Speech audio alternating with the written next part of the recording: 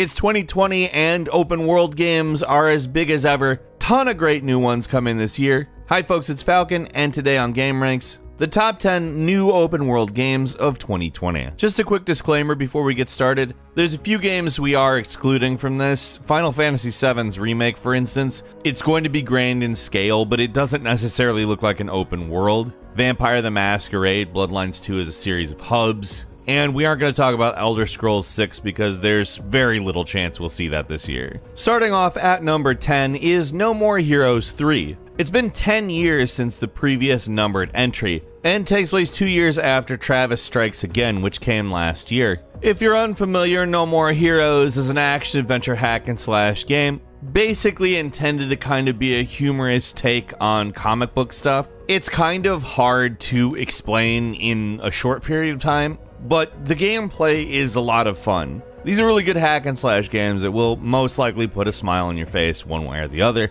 It does get a little extreme sometimes, but not. It could be worse. You've seen worse. No More Heroes 3 is coming out on the Nintendo Switch sometime this year.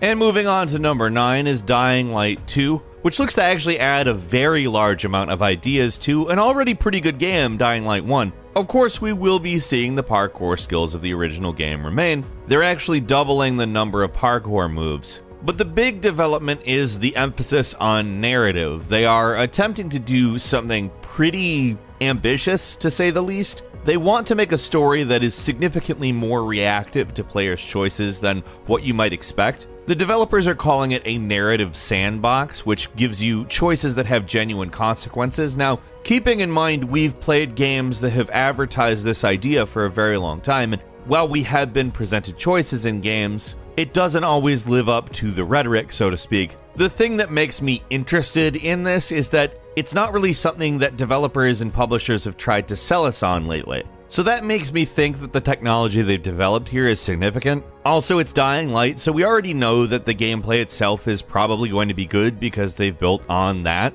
Dying Light 2 has sadly been delayed from its initial spring release. Techland and Square Enix have delayed it because they say the game needs more time and they're not sure exactly how much, so currently it's delayed indefinitely, not that they're canceling it or anything like that. I'm sure they'll give us more information soon, but we don't know when it's going to come out as of right now. Coming in at number 8 is Everwild, a new game from Rare. Graphically speaking, you can really tell looking at Everwild the mark that Legend of Zelda Breath of the Wild has left on the gaming world. In fact, several of the games we'll mention today actually do that same thing. There's not a ton of information on this game out right now. We know it's an action adventure game, we know it's open world, we know it's very pretty. And Rare purports it to offer engaging and meaningful experiences. Now, I would hope that basically any game on some level, whether it be through gameplay, enjoyment, brings you some sort of meaningful experience. I mean, just simple fun is meaningful. We will obviously keep you updated as we find out more about this game.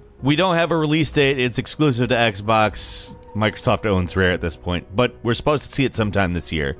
Coming in at number 7 is Gods and Monsters. Comes to us from the creators of Assassin's Creed Odyssey for Ubisoft. This is another game, like I said, that you can really feel the weight of Zelda Breath of the Wild on, except for it is Greek themed and in truth, there's a lot of things I think are really intriguing about this. We've seen the sort of types of open world games that Ubisoft makes, but they typically don't go for such a distinct aesthetic in those games. Yes, some of them they have dove into that. There are a few Ubisoft games that have really gone for it aesthetically speaking, and they're very pretty. But I would say that this game really stands out. There's really nothing like this in the Ubisoft catalog, and if we know kind of what we're getting gameplay wise when comparing it to Assassin's Creed Odyssey knowing that the developers from that game are the ones working on this, taking this cartoon aesthetic and making it about monsters and about defeating monsters, honestly, in my opinion, is really intriguing. Gods and Monsters is coming to PC, Xbox One, PS4, and Nintendo Switch, and is coming sometime fall 2020. At number 6 is Mount and Blade 2 Bannerlord. This is a game that was announced way back in 2012. Like its predecessor, it is an action role playing game with an emphasis on strategy. What this basically means, if you've ever played the original, is that it's kind of a management slash strategy game. It's kind of a sandbox, but mostly it's an action RPG, which sound like three pretty disparate things. But when the original Mount and Blade came out in 2008, it wasn't really like graphically a powerhouse in any way, and it got a lot of guff for that. But the way the game was set up was more than intriguing. It was a really enjoyable game. And it's really nice to see that same idea brought into much better looking graphics because even for 2008, it was not a good looking game. I don't think it's going to win any awards for graphics. It's just such a turnaround that comparing the two games, it's like, wow. There's a lot of new stuff to look forward to in it as well, which gives a much more combat oriented experience. But that doesn't mean it's a different game altogether. In the single player, you will be able to persuade people. A well executed persuasion system can really drastically improve a narrative, and I'm looking forward to that. I'm just looking forward to playing it though. Mount and Blade 2 Bannerlord is releasing in March for early access. We don't have a final date, but look for it on Steam then.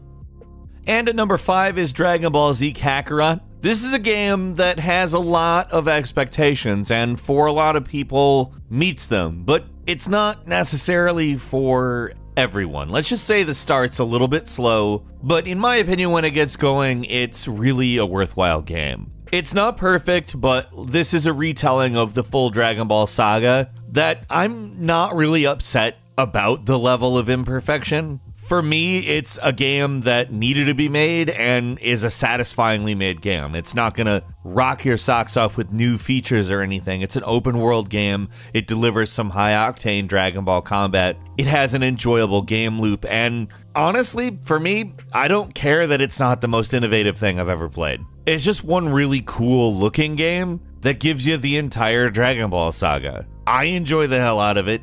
I'm not going to tell you that it's perfect or that absolutely every person is going to like it, but just for how faithful and how fun this game is, in my opinion, kind of overcomes the lack of innovation. It's pretty much the best Dragon Ball story video game, in my opinion. It's out now for PS4, Xbox One, and PC. I would definitely recommend playing it.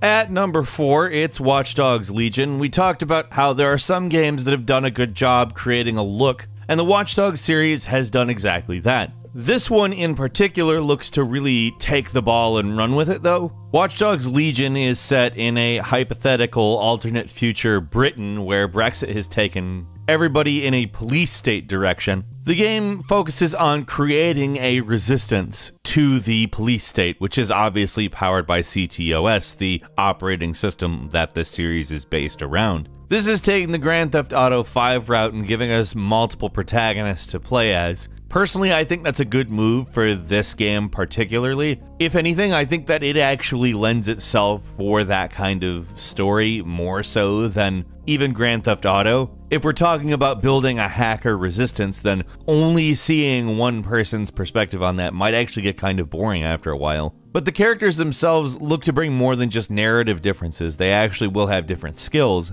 And honestly, I think that this may be a landmark game for the Watch Dogs franchise. It's hitting PlayStation 4 and 5, Xbox One, Xbox Series X, Windows, and Stadia sometime this year. Number three is Elden Ring, the collaboration between From Software and George R. R. Martin. This is kind of the From Software open world experiment. Will the Souls like formula essentially work with the world wide open? In some respects, I think we've seen a little bit of a preview of what we may see with Elden Ring, with Ashen, albeit with an entirely different aesthetic, story, etc. But what I think a lot of people are particularly interested in is the George R. R. Martin collaboration. The way that worked out is George R. R. Martin apparently did the world building elements of it, and Miyazaki and From basically filled in the actual story beat by beat. I think that's a pretty interesting way of doing a collaboration, and I have some pretty high hopes for Elden Ring, honestly. From Software's never really let us down before, why would it start now? Elden Ring will be out sometime this year on Windows, PlayStation 4, and Xbox One.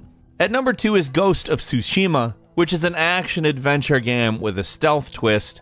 Basically, this was revealed, and I was already ready for it. It is absolutely a gorgeous looking game. It comes to us via Sucker Punch Productions and follows The Last Samurai on Tsushima Island back in the 13th century. Now, the central conflict of the game is apparently the Mongol invasion of Japan. The game is more or less about the fantasy of becoming a samurai, in which you will, over the course of the game, learn the way of the ghost, which is apparently a prerequisite for defeating the Mongol Empire. Plenty about this game remains a mystery for now, but if you recall, Sucker Punch created the Infamous series, and apparently it's serving as the inspiration for the transversal techniques that the main character of this game will be employing, so I think that can give us a little bit of a hint as to how the game will play. We also know there's a heavy stealth element, and that just comes out of the words of the developers themselves, so combining these two things makes me very interested.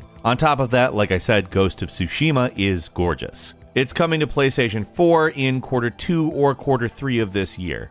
And finally, the granddaddy of them all, probably the biggest game of the year, probably the game that we all want to play the most. It's Cyberpunk. Of course. Like, you knew this was coming. I don't know what I can say about Cyberpunk that we haven't already said. I don't know how you could not know what it is, but just to distill it, it looks a lot like first person Grand Theft Auto in the coolest looking city of all time. To say I'm ready to jump into the world of Cyberpunk is such a massive understatement. I cannot wait. It's going to be landing on Windows, PS4, Xbox One, and Stadia on April 16th. A quick bonus game for you. It's not quite the same thing. It's Microsoft Flight Simulator. The reason we don't say it's quite the same thing is because you're flying. I mean, it's definitely very cool that you'll be able to fly around all over the place. That's not a new thing for Flight Simulator, but it's been a while. It's definitely cool to see a new Flight Simulator game coming out. Yakuza Like a Dragon, which is a totally new type of Yakuza game, and will not feature real time combat. Instead, it's a turn based JRPG style combat, which is really a bold choice that I'm pretty interested in seeing, to be honest. Next is Animal Crossing New Horizons, which is a bigger and better version of the classic life sim that absolutely everybody who owns a Nintendo product at least knows of but a lot of people really love this series. Of course, I think basically everybody with a Nintendo Switch is at least curious at this point. There's an unannounced Assassin's Creed game that is apparently coming in 2020. It is rumored to take place during the Viking era. There's a lot of speculation it will be called Assassin's Creed Ragnarok, but none of that is even vaguely confirmed, so keep that in mind. Honestly, I do think that would be a great era to do an Assassin's Creed in, especially given the depth that we've seen in Odyssey and Origins. What games are you going to play this year? What are you most excited for? Leave us a comment. Let us know what you think. And if you like this video, please click like. If you're not subscribed, now's a great time to do so. We upload brand new videos every day of the week. The best way to see them first is, of course, a subscription. So click subscribe and enable all notifications. As always, we thank you very much for watching this video. I'm Falcon. You can follow me on Twitter at Falcon the Hero. We'll see you next time right here on Gameranx.